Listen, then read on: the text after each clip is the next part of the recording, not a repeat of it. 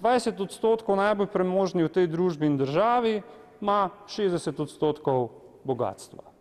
Gre samo za neko pravično porazdelitev.